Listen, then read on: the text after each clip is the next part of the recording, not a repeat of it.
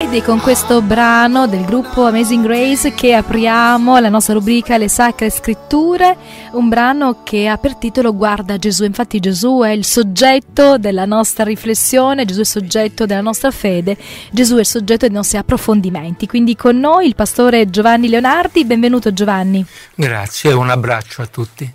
Allora, di cosa parliamo oggi? Quindi Gesù è il centro della nostra discussione, ma quale aspetto della vita di Gesù e del vivere in Cristo e con Cristo vuoi prendere in considerazione oggi? Io quando vengo qui mi faccio sempre una, una domanda. Di cosa hanno bisogno gli amici che ci ascoltano? Certo abbiamo tanti bisogni nella vita che riguardano il nostro quotidiano, le nostre famiglie, i rapporti con gli altri, il lavoro, la salute, le speranze, i dolori.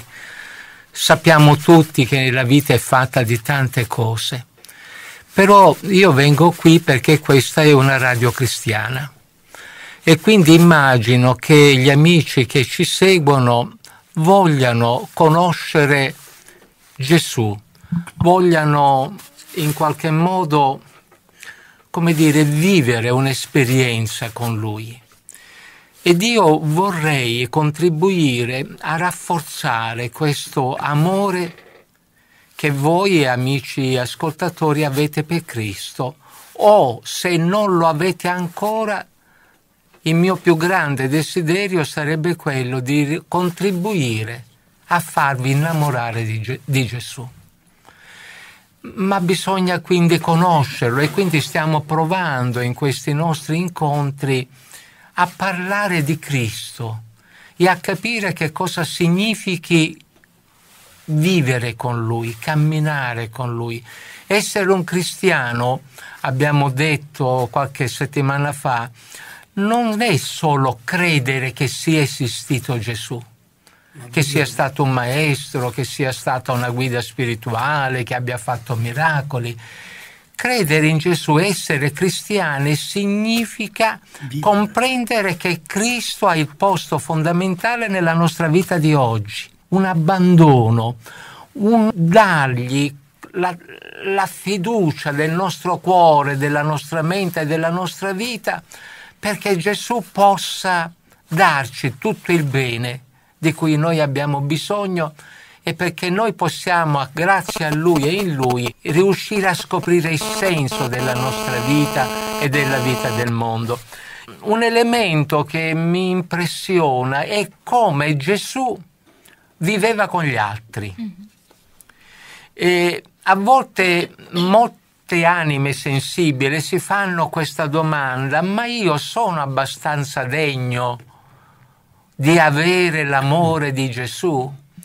Ecco, quando io guardo a Gesù mm, nella sua vita concreta, ancora prima di sentire i suoi insegnamenti, però già questo è un insegnamento, io scopro che non c'era persona che fosse al di fuori del desiderio di Gesù di raggiungerlo, di sostenerlo. Mi farebbe piacere parlare di questo. Molto, molto bello. Ecco, vorrei cominciare leggendo un testo dal Vangelo in eh, Matteo a capitolo 4, i versi dal 18 al 20. Il nostro Emanuele li leggerà per noi. E allora Gesù vide due fratelli, uno chiamato Simone detto Pietro e l'altro Andrea, suo fratello, i quali gettavano la rete in mare perché erano pescatori. E disse loro, venite dietro a me e vi farò pescatori d'uomini. Ed essi, lasciate subito le reti, lo seguirono. Ecco, grazie. Qui noi vediamo Gesù che sente, che sa di avere qualche cosa di bello da offrire agli altri, ma può offrirlo, può condividerlo con loro solo se loro accettano di vivere un'esperienza con Lui. Mm-hmm. Gesù ha molto da darci, però è un molto che Gesù non ci può dare contro la nostra volontà, contro l'adesione del nostro cuore e della nostra mente. Ecco, Gesù che già aveva cominciato da tempo a predicare il regno di Dio e che certamente si era fatta una certa fama, a un certo momento ad alcune di queste persone che erano impegnate nella loro vita quotidiana, una vita onesta, fatta di fatiche, di, di lavoro, di impegno, di famiglia, dice lasciate questo, venite dietro a me, io ho per voi un progetto che è ancora più grande. Voi adesso pescate pesci, io vi darò il privilegio di cercare e di pescare, di raccogliere degli uomini per il regno di Dio e per tutto ciò che questo regno rappresenta. E questi uomini che certamente avevano già imparato ad ascoltarlo decidono di lasciare questo. Certo il Vangelo non ci racconta operativamente come la cosa avvenne, ma ci racconta la decisione che è quello che conta. Questi uomini decisero di seguire Gesù, di vivere questa esperienza con Gesù, alla quale Gesù li invitava. Ecco, a me sembra che anche se con modalità diverse, Gesù chieda a tutti quelli che incontra, seguimi, accetta di condividere la mia vita, accetta di, di passare dei giorni con me, perché io voglio darti la certezza, mi verrebbe da dire io ti voglio conoscere, in realtà Gesù non ha bisogno di conoscerci perché già ci conosce, ma ha bisogno, vuole dirci che io voglio rispondere al tuo bisogno di avere la certezza di essere conosciuto da me. Cioè, Gesù ci conosce, ma noi non lo sappiamo che lui ci conosce. E fino a quando? E no? ecco. Allora Gesù con questo invito mi viene a dire, lo dice a tutti noi, io voglio passare del tempo con te, ancora prima di chiedere agli altri, venite a passare voi del tempo con me, quando dice seguitemi vuol dire per me tu sei importante voglio stare con te, ma ci posso stare con te solo se anche tu vuoi stare con me. Ecco, Gesù aveva questo desiderio profondo di comunione con tutti e nella sua vita ha incontrato persone di tipo diversissime, in condizioni diversissime e con tutti ha cercato di stabilire una relazione. Gesù aveva molte dissonanze con il partito dei farisei, ma il Vangelo ci dice che Gesù andava a pranzo con i farisei, stabiliva un rapporto di amicizia anche con queste persone. Gesù viveva in Galilea e andava spesso a Gerusalemme in Giudea, in mezzo c'era il territorio dei Samaritani una gente considerata impura, un popolo che non avrebbe neppure dovuto esistere. Eppure Gesù passa in mezzo ai samaritani e stabilisce un rapporto di simpatia con una donna dei samaritani, accettando poi l'invito ad andare nel paese dove questa donna viveva. Gesù ha parlato con dei fenici, Gesù ha parlato con dei romani, con dei greci e a tutti ha cercato di offrire quello che lui aveva. Gesù ha stabilito buoni rapporti con delle persone ricche che lo sostenevano in qualche modo nella sua attività di pellegrinaggi per la terra di Israele insieme ai suoi discepoli, ma ha avuto un occhio di riguardo con i poveri, con i miseri, con gli ultimi sapeva parlare con il re, ma abbracciava gli umili, gli ultimi. Riusciva anche a toccare i lebrosi, senza che niente lo costringesse a farlo, addirittura trasgredendo delle norme della legge che avevano una ragione nobile, quella di evitare i contagi. Però Gesù ha amato queste persone a cui la malattia aveva tolto anche la dignità dei rapporti umani, di toccarli. Prego. Sì, no, mentre tu parlavi la mia mente volava e, e così come ho detto all'inizio eh, lavorava di immaginazione. Io vedo Gesù che, come è descritto nell'Evangelo, non aveva una, un fisico appariscente, affascinante, non era molto attraente come, come un uomo, era un uomo normale, aveva un fisico normale, un volto normale. Allora chi attraeva?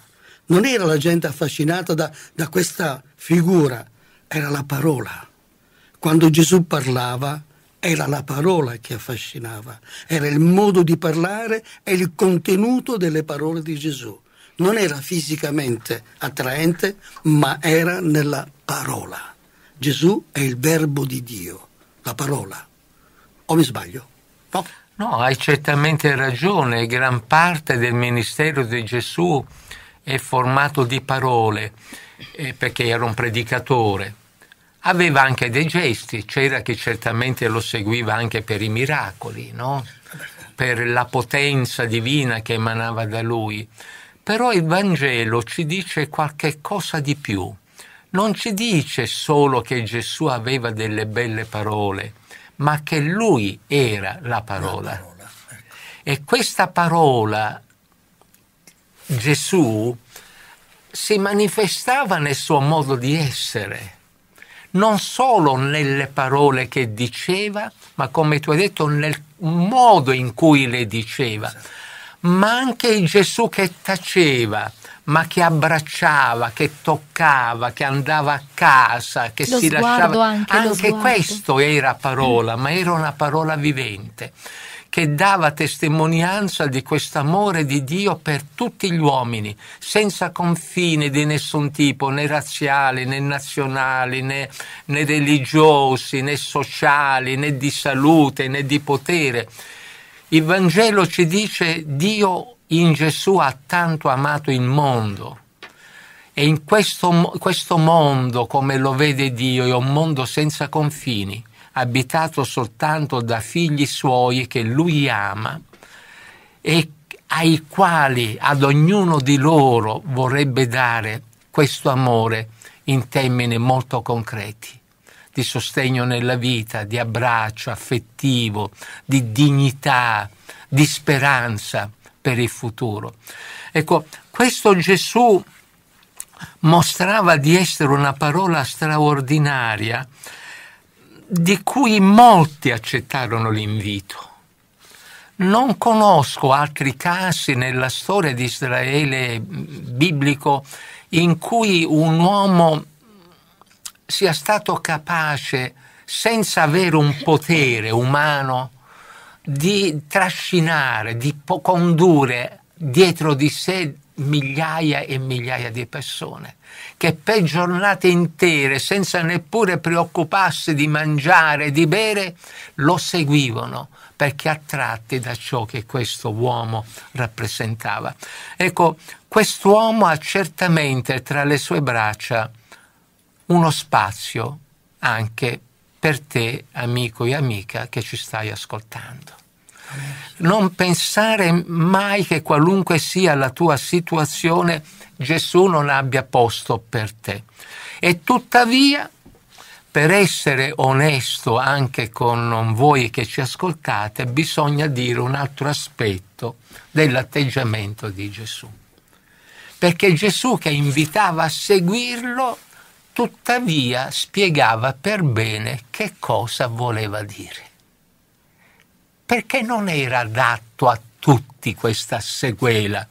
E sempre nel Vangelo di Matteo, al capitolo 8, al versetto 19, noi troviamo qualcuno che si è proposto lui, probabilmente dopo aver ascoltato l'invito di Gesù, a seguirlo e decide di seguirlo con, come dire, come una decisione indiscutibile, inappellabile. Ecco, c'è la legge il nostro Emanuele. Versetto 19. Uno scriba, avvicinatosi, gli disse, Maestro, io ti seguirò dovunque tu vada, dovunque tu andrai. E Gesù gli disse, le volpi hanno delle tane e gli uccelli del cielo hanno dei nidi, ma il figlio dell'uomo non ha dove posare il capo. Un altro dei discepoli gli disse, Signore, permettimi di andare prima a seppellire mio padre. Ma Gesù gli disse, seguimi e lascia che i morti seppelliscano i loro morti. Ecco, abbiamo qui due casi di persone con un atteggiamento leggermente diverso. Il primo è lui che dice Signore io ti seguirò fino a morire per te. L'altro che dice sì Signore io ti seguirò però prima. ho qualche altra cosa da sbrigare prima. C'è sempre un ma a volte che poi diventa una montagna tra noi e le cose importanti. Ecco, Gesù al primo che lo vuole seguire con tale decisione gli dice guarda, no, non è che lo respinge, non è che gli dice no, io non ti voglio. La disponibilità di Gesù rimane, però Gesù è onesto e gli dice tu mi vuoi seguire per che cosa? Che cosa ti aspetti da me?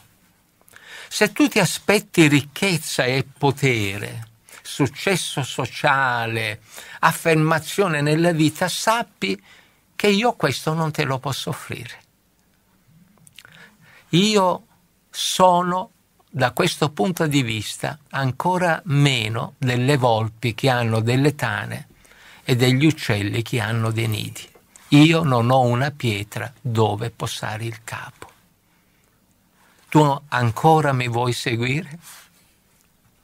E all'altro invece che dice io voglio seguirti Signore, però ho altre cose da fare, Gesù pone quasi un auto-auto, come per dire se tu Non mi vuoi seguire tempo. veramente, se tu hai capito che cosa significa vivere con me, tu non puoi aspettare domani. Non puoi pensare prima di adempiere i doveri della tua vita quotidiana, perché se tu pensi che quei doveri della vita quotidiana possano impedirti di venire oggi, vuol dire che non hai capito. Non hai capito cosa significa seguirmi.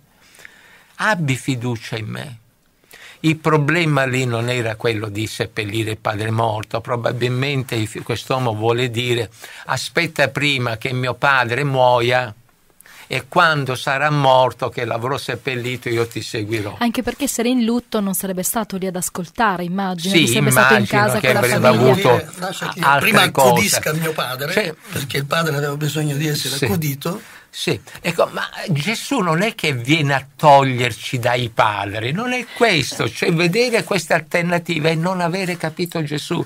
Gesù non ci chiede di essere meno amorevoli, seguirlo non ci allontana dagli amori legittimi, dalle responsabilità, solo che li pone su un livello superiore in cui il mio rapporto con gli altri non è più il rapporto dell'egoismo, io amo quello perché è il mio, ma io imparo ad amare nell'insieme di un amore che si rivolge anche verso tutti, che supera i confini, che è più grande, che è più elevato, che è più profondo. Ci sono stati dei momenti in cui la folla che seguiva Gesù seguiva sperando in quello che Gesù non poteva dare, perché i loro cuori erano confusi e non capivano bene e loro si aspettavano che Gesù con la sua potenza potesse risolvere tutti quanti i loro problemi, potesse instaurare il regno di Israele in cui Israele avrebbe dominato sulle nazioni. E, e? Gesù, e, Gesù- e quando invece Gesù cominciò a parlare della necessità di sacrificarsi per gli altri, di amare gli altri fino a dare la vita per gli altri, questa gente lo ha lasciato. Noi parliamo di allora, no? Di allora, di uomini di quel tempo che erano duri di cuore, non avevano capito Gesù, lo seguivano per interesse. E io dico, ma oggi è cambiato qualcosa? No, io credo che non sia cambiato, che anche oggi molte volte pensiamo di avere accettato di vivere con Gesù e in realtà Posticipiamo. in realtà o posticipiamo o pur pensando di farlo già, in realtà di vivere con i, le aspirazioni del nostro cuore, che non sempre sono legittime, e pensiamo che Gesù sia lì per sostenerci, ma in realtà non siamo veramente con Lui. Però Gesù ci invita, lascia, lascia e seguimi, abbi fiducia.